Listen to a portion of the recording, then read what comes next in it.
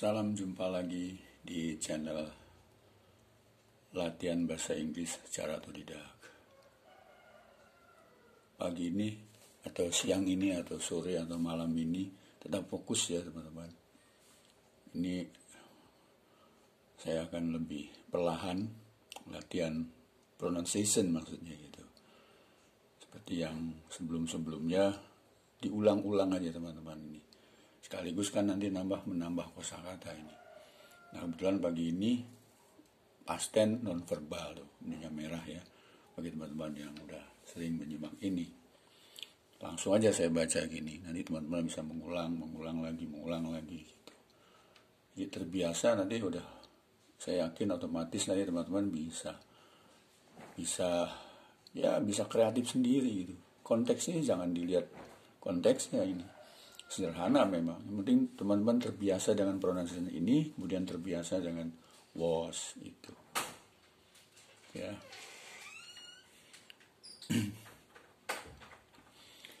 baca ini. Yesterday was on Sunday. The sky was clean. It was clean as my heart. Then I went to traditional market to buy some eggs, onion, chili, salt, and also I bought vegetable. There were soybean and potatoes, and even I also bought several nila pieces. That was one of my wife's favorite. Misalnya diganti. That was one of my husband's favorite. So, I had to buy some completed ingredient for managing the nila pieces.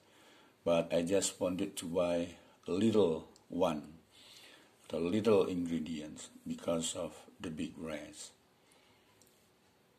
What still in refrigerator, that was a plan that I would be there. Sekali lagi saya baca nih teman-teman. Yesterday was on Sunday. The sky was clean. It was as clean as my heart. Then I went to traditional market to buy some eggs, onion, chili, salt, and also I bought vegetables. There were soybeans and potatoes, and even I also bought several nila pieces. That was one of my wife's favorite. That was one of my husband's favorite. So I had to buy some completed ingredient for managing the nila pieces.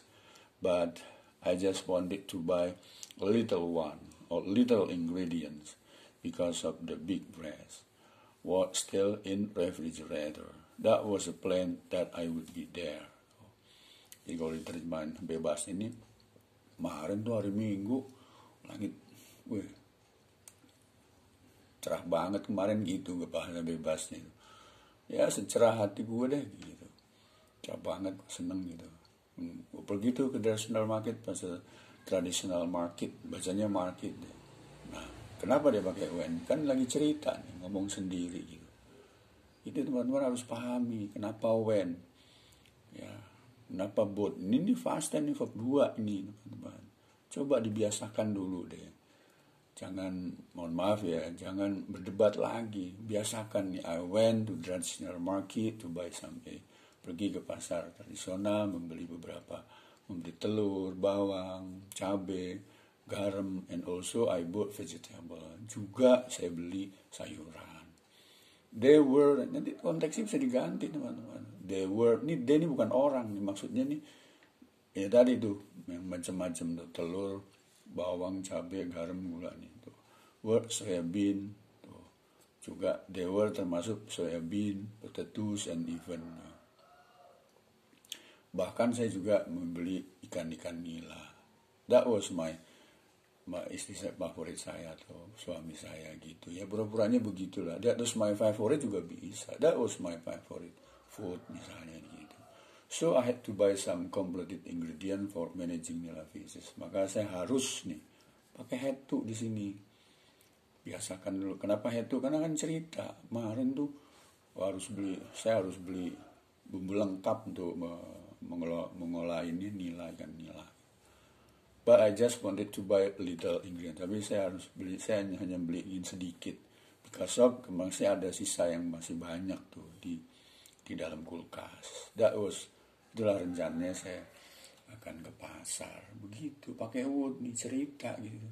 Kemarin ini maksudnya nih. Begini kalau mau bahasa Inggris kalau kemarin.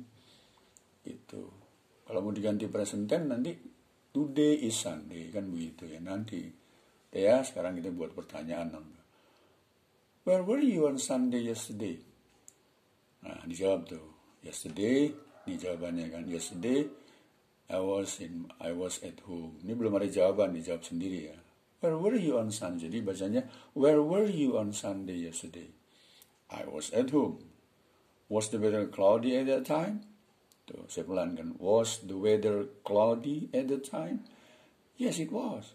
Ya, begitu. Kalau ya gitu. Kalau tidak no it wasn't coba diulang-ulang supaya terbiasa dengan was dengan were ini. Where were you? Bukan where where where ya. Where were you on Sunday yesterday? I was at home gitu. was the weather cloudy at the time? Was kalau pelan-pelan was the weather cloudy at the time? Yes it was. No it wasn't misalnya. Tidak gitu. Itu bahasa Inggris begitu. Nah tanya what time did you go to traditional market jam berapa pergi ke pasar kemarin tuh? Pasar tradisional misalnya jawabnya bukan I, I go lagi. Ini kan what time did you go to traditional market? Jam berapa anda pergi ke pasar tradisional? Jawabnya I went to traditional market at misalnya at 9 pm tuh. Jawabnya harus lengkap dulu. Jangan disingkat-singkat supaya terbiasa dengan standar SP biasa what time what time nine nine itu ya gimana mau ngomong bahasa Inggris kalau gitu nggak apa-apa ya jangan lagi mohon maaf ya jangan lagi apa ya istilahnya membuli gitu oh, ngomong gini aja pakai bahasa gimana lagi kalau nggak latihan begini SPOK dulu teman-teman jadi jawab I went to traditional market at 9 a.m. What did you buy there? Apa yang dia beli di sana? What did you buy there? Perbal nih pertanyaannya. Jadi gabung tuh. I bought, tujuannya begitu. I bought some eggs, onions, salt, sugar, even I bought. Kalau panjang begitu, ingat-ingat pertanyaan di, diulang lagi. Even I also bought vegetable. Gitu. Saya ulang lagi, what did you buy there? I bought. Langsung diisi itu. Jangan dijawab objeknya saja, jangan. Bukan gak boleh, boleh. Kalau udah ngomong nanti um, apa udah aslinya sih terserah mau ngomong what what what? Nila nila nila bisnis what time what ya boleh ngomong begitu. Persoalannya kan nggak bisa berkembang kalau ngomong begitu teman-teman. Itu ya. Berkembang standar SPO dimulai dari standar dulu kan gitu. How many pieces did you pay?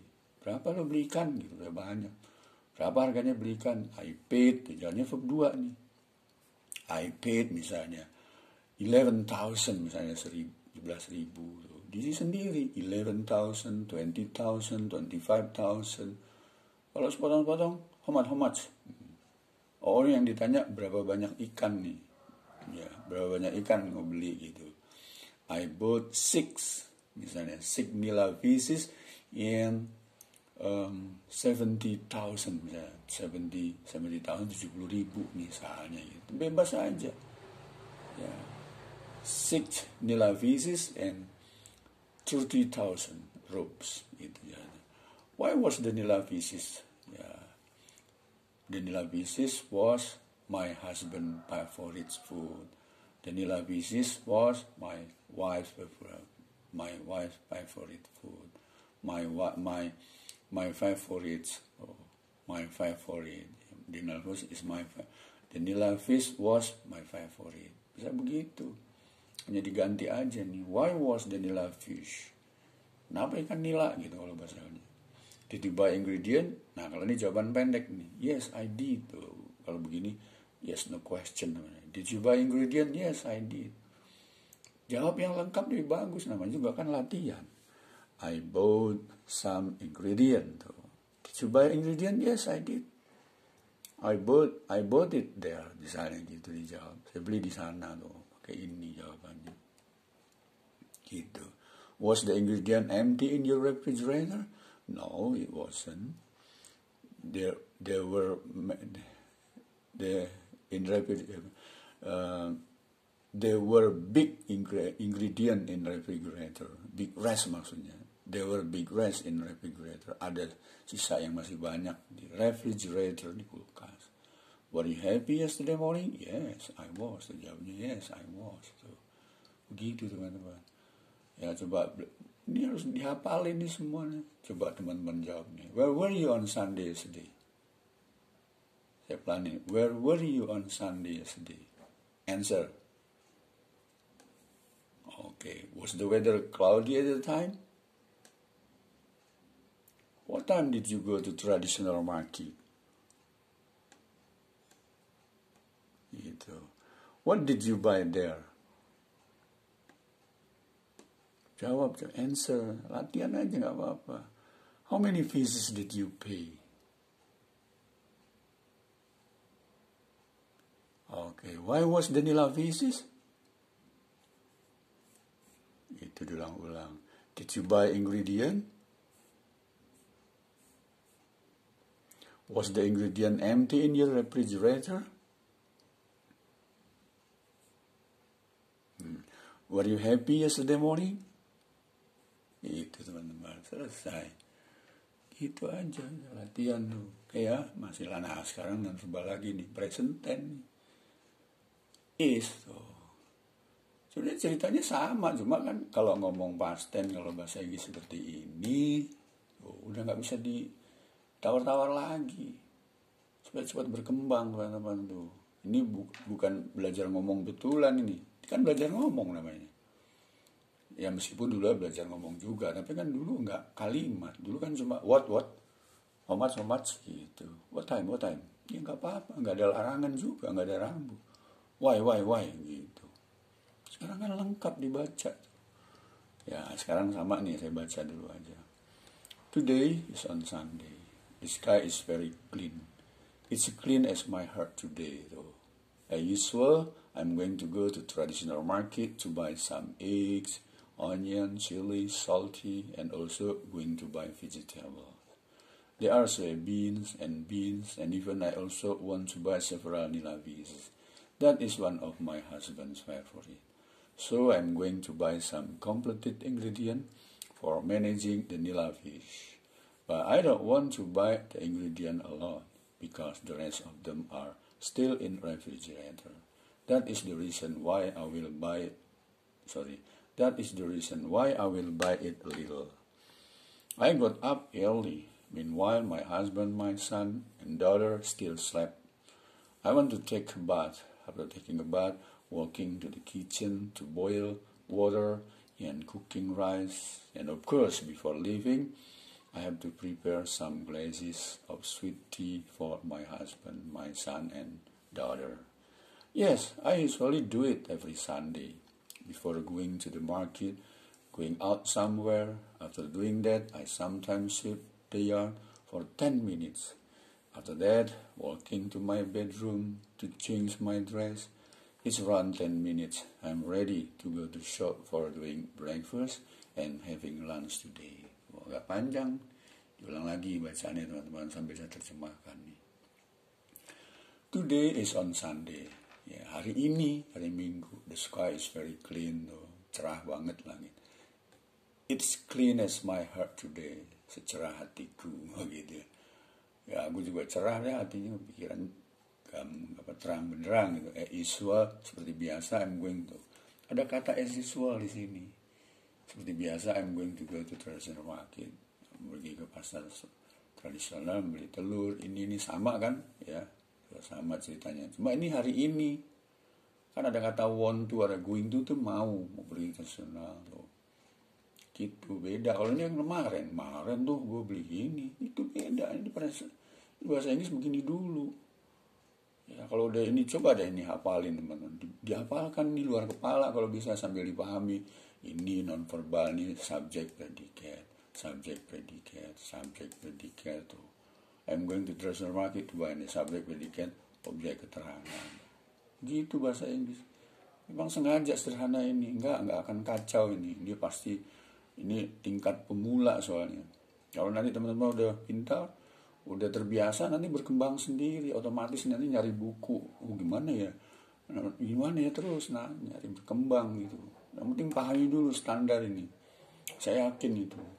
Daripada berpuluh-puluh tahun ngomong cuma sepotong-sepotong ya enggak ya memang banyak yang lancar juga. Saya saya harus begitu. Ini mohon maaf ya bagi yang sama-sama di departemen jurusan nih jangan di jangan dicacat dulu. Ini memang tujuan saya ini memberi pemahaman pada pemula gitu. Salah-salah dikit nggak masalah. Daripada salah banyak nggak karu-karuan nggak bisa berkembang. Ini salah dikit lah katakanlah. Nggak akan mengacaukan. Kalau udah pinter standar SPSB pasti jalan nih teman-teman saya yakin jalan. Cuma terbiasa dulu. Nanti kan otomatis teman-teman nyari buku tuh. Oh gini tuh oh gini. Biasakan dulu coba ya nanti akan berkembang sendiri gitu. Nah sampai sini ya kemarin nih. Oh yang ini I will buy gitu nah di sini saya bangun pagi tadi pagi-pagi banget tuh I got up early tuh dia cerita gitu. Cerita pasten lagi nih di sini kan present tense iya tadi gue bangun pagi sekali gitu. Sementara suami masih sama anak lagi masih di, masih tidur tuh. Mas kembali lagi ke slide. Ini slide nih ya tuh tidur gitu. Nah ini sampai sini kan cerita tuh baru dia ngomong lagi. Ah, mandi ah sekarang gitu. Sebelum mandi jalan ke, ke dapur ah, masak air gitu masak nasi. Sebelum berangkat gitu maksudnya dia cerita gitu. Ngomong sendiri juga boleh nggak masalah. Yang penting itu tadi nah, kenapa ini walking? Ini jiren jiren prase namanya Nanti teman-teman akan tahu sendiri. Sengaja saya bedakan situ before living. Ini nggak udah internasional, nggak bisa didikat, nggak akan kacau ini. Udah standar SP SPOK itu terutama bagi pemula ya kalau yang udah pinter sih ya jangan baca ini nanti ujung-ujungnya nyacatnya nggak gitu mohon maaf ini ya beginilah pemula saya khusus untuk para pemula yang bertahun-tahun nggak bisa ngomong bahasa Inggris ya ini diulang-ulang gitu. I have to prepare saya harus mempersiapkan segelas air teh manis untuk suami untuk anak saya yang laki dan perempuan. Ya I usually do it every saya biasa melakukan itu setiap minggu hari minggu. Before going to the market sebelum kan biasanya begitu mama ya kak? Minggu pergi ke pasar keluar setelah itu baru kadang-kadang nyapu halaman tuh kan Kan ini subjek, predikat, objek. Ini begini bahasa Inggris dulu teman-teman. Sederhana ini. Nanti kalau udah terbiasa mau jadi apa lah, mau jadi sekretaris kan, mau jadi apa ya, mau jadi menteri, mau jadi ya begini dulu. Nanti berkembang sendiri sambil nanti latihan pertanyaan kan gitu tuh, nanti pertanyaan tadi itu. 10 minutes after that, walking to my bedroom to change my dress. It's around 10 minutes, I'm ready. 10 menit siap tuh. Ini jadi teman-teman tahu tuh ini kalau yang merah begini predikat namanya ini non verbal tuh. Ini juga predikat. Selalu identik dengan to be. Itu pemahamannya cuma itu. Lain kalau belajar TOEFL, wah ya kalau kalau ngikutin belajar TOEFL ya mohon maaf ya sampai kiamat juga nggak akan pernah bisa ngomong gitu. TOEFL itu sendiri, belajar yang serius grammarnya gitu. Jangan lagi seperti ini. Ini pragmatis praktis nih teman-teman. Saya jamin praktis pragmatis pelajaran ini. Gitu. Karena ini belajar mem memulai dari yang benar. Standar SP SPUK kagak tidak akan kacau balau. Nggak akan di sini. Nah teman-teman bisa berkembang sendiri gitu. Terutama bagi pemula ya. Yang penting tahu dulu ini kata sifat ini kata keterangan terbiasa dengan kata kerja reguler dan itu yang paling penting. Ya ya nggak nggak ini nggak nekat nih ter artinya memang terarahin gitu teman-teman ya. Oke teman-teman saya kira sampai sini dulu. Silahkan diulang-ulang lagi ya. Diulang lagi diulang lagi oke thank you very much. Bye. Assalamualaikum